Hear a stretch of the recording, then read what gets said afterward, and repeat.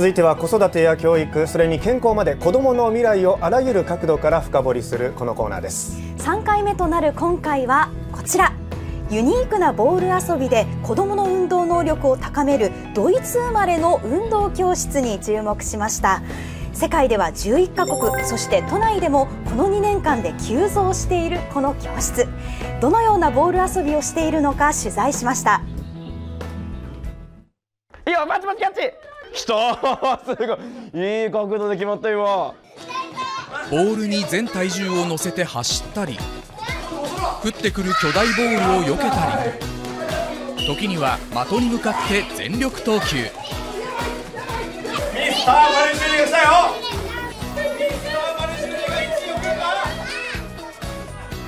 投げる蹴る取る120を超えるボール遊びで運動能力の向上を目指すドイツ生まれのボール遊び教室バルシューレ。2年前に創立した高田馬場港を皮切りに現在都内22カ所に教室が開かれています。バルシューレはドイツ最古のハイデルベルク大学の幼児研究チームによって作られたプログラムです。ドイツのプロサッカーリーグブンデスリーガの強豪チームも子供向けにこのバルシューレを導入しているということです。ボール遊びどうですか？あ楽しいです。投げるところが楽しいです。楽しいです。最大の特徴は何といっても子供たちが楽しんで学ぶということ。体幹バランス能力運動でとっても大事ですよねさすが春馬コーチ体幹を鍛える運動も子供たちにとってはボールとじゃれ合う遊びです。楽しみながら鍛えられる。それを実現させるからくりが。お互いにみんな大きな拍手とにかく褒める。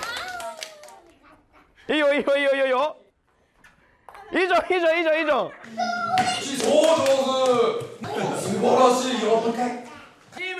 講師は子供たちを常に褒め倒します。たとえうまくできなかったとしても。なおちゃん、かちゃん、いつもなんだ？頑張った？はい、じゃあ頑張ったポイント、はい、タッチ。はい、オッケー。できなくてもいいんです。一生懸命やってれば絶対できるようになるんです。ね。褒めることで失敗を恐れないチャレンジ精神を養わせます。すごく楽しそうに毎週通っていてあの自然とこう体の使い方が上手になってきたりもともと外で遊ぶのがそんなに好きでもなかったんですけどなんか子供の知らなかった一面みたいなのをこう引き出してもらったというかまた生徒の自主性を伸ばすのもこの教室ならでは。三人これ攻撃うん攻撃守る人が二人でしょ、じゃあさ守る人はあのこことここで分かれて分かれて守る対戦形式の運動では作戦会議の時間を設け子どもに戦術を考えさせ行動させます。基本的に講師はルールの説明や手本を見せるだけでどのようにやればうまくできるかは指導しません。子どもたちの自由な発想を大事にすることで運動能力だけでなくコミュニケーション能力を育むのが狙いです。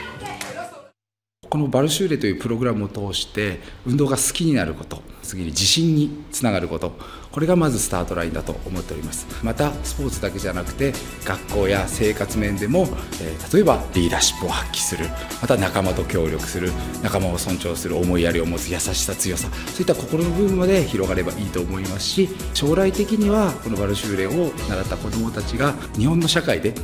活躍するようなそんな人材にそれはスポーツ界でも社会人としてもそういった願い思いを持って指導させていただいております。さまざまなボール遊びを通して運動能力と人間力を養わせるマルシューレで子どもの未来を後押ししています。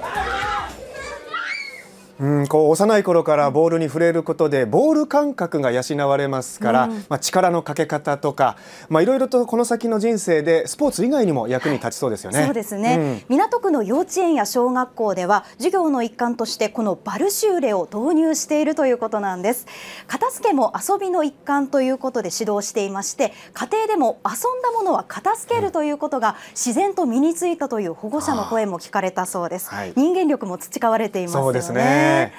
以上子どもの未来のコーナーでした。